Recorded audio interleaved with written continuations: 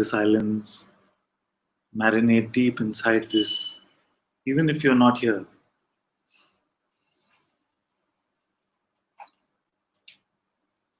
I'm sure that the presence of this silence you are experiencing right now, wherever you might be,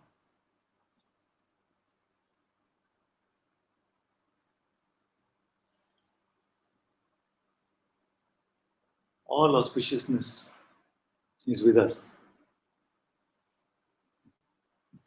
I sheepishly have to admit also that I didn't remember that it was Papaji's birthday yesterday. so, what an auspicious way to start. And also, this is the Indian festival of Navratri going on, which is where traditionally many are in silence, many are fasting. Without any such planning, grace is automatically supporting us in this way. So use this opportunity to fully discover what is being spoken about.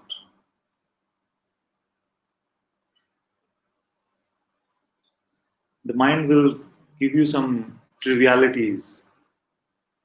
It will give you some trivial stuff which will not even matter at all. But it is the nature of the mind to try and distract you right now because what is being spoken about actually is the simplest thing. Hmm? I'm just sharing what I see right here, right now.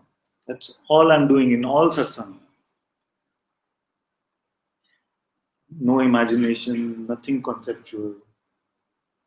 Just from whatever is clearly, directly experienced in this moment.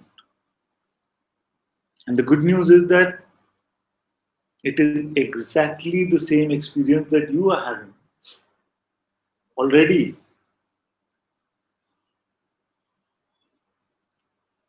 There is nothing esoteric, metaphysical that we are talking about. Yes, to the mind, it is completely radical. Not denying that. But it is the mind using imagination which has had it upside down all along.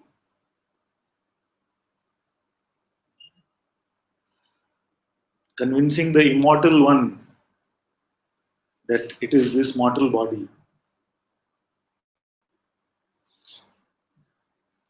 Convincing the infinite that it is some finite being.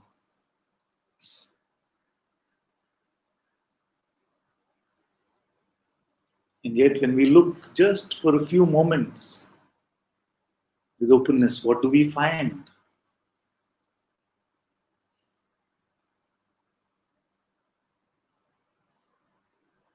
So, use this opportunity to just let go.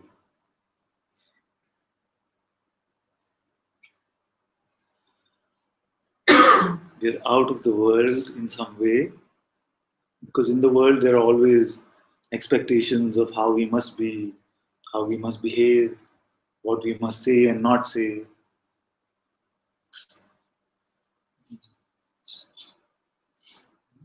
Now, all of that has been taken away. For some of you, the mind might be trying to create a picture of some gloomy situation because you're in silence. Know, some of you are carrying these glum faces. but actually, it is a beautiful opportunity to just let go. All ideas, all behavior. You can cry if you want, you can laugh if you, if you want. Whatever is appearing, there is nothing right or wrong.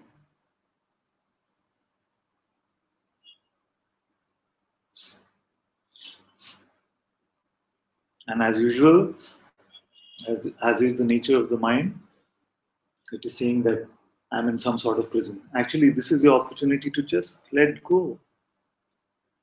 If the body wants to fall down like this, let it fall. If it's feeling energized, let it be energized.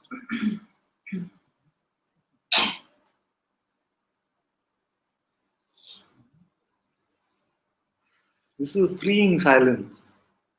It is not a bonding silence.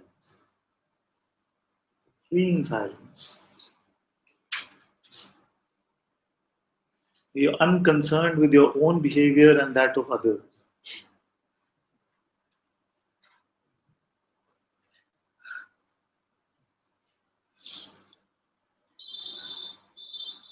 If you're dancing around as if you're crazy, that's completely fine.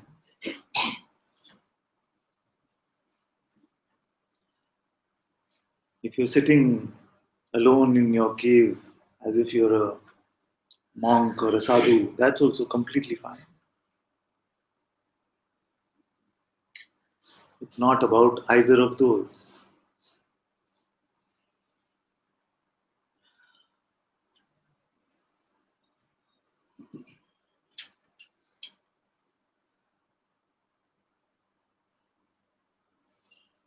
It is about the discovery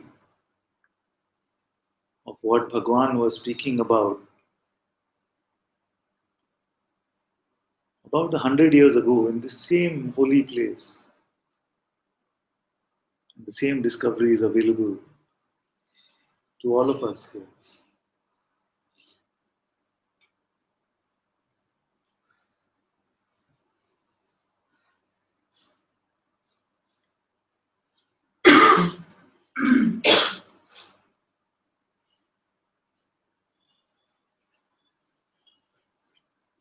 What is here which is beyond thought? What is here which is beyond feeling? We've gotten addicted to reporting from our thoughts, addicted to catering to our feelings. But who is the witness of both of these?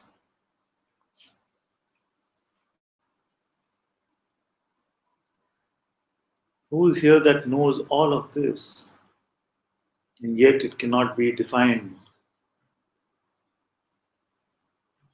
Who's here that knows the arising and disappearing of all phenomena, and yet itself is not phenomenon? Hmm.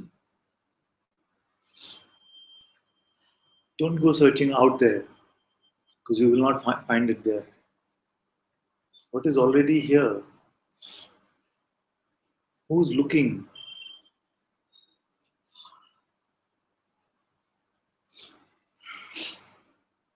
Who is hearing, reporting to?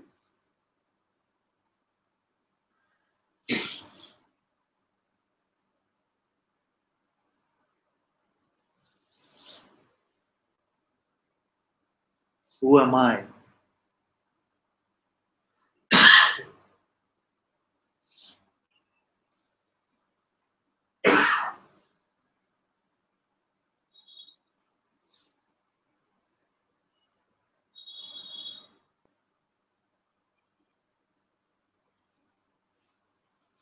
The mind has convinced the entire world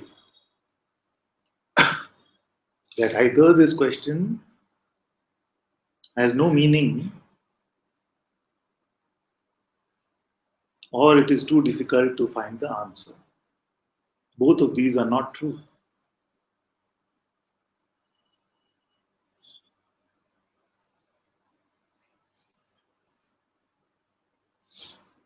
And the answer is available right now because you already are that.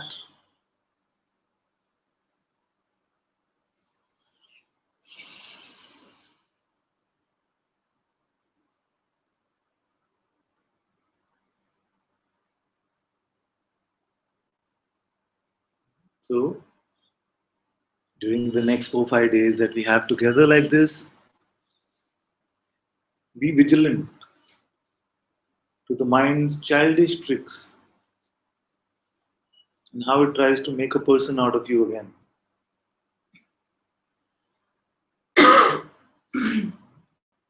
As you are discovering your impersonal self, observe how the mind and maybe sometimes even the world of this Maya is collaborating to distract you, to push your buttons, to convince you that you are still a person. And the person must be real, is the story of the mind. It's using every opportunity that it gets to convince you of this lie.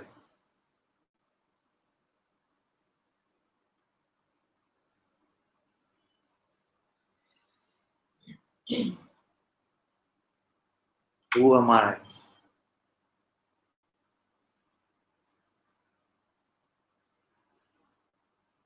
Who am I?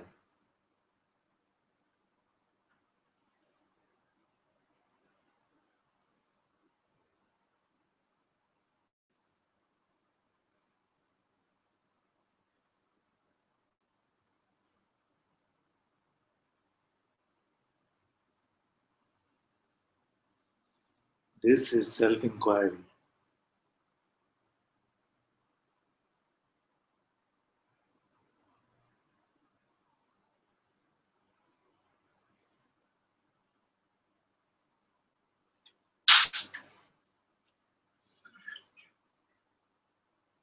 Where must I look for I?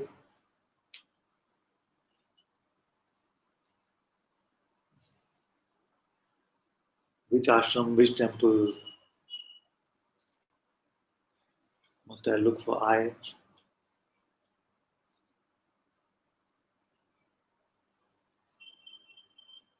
The I not here right now?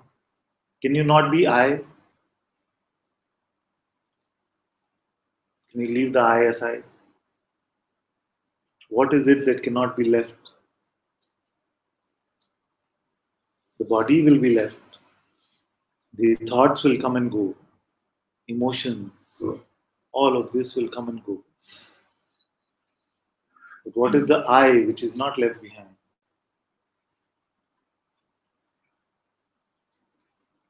What does this one look like?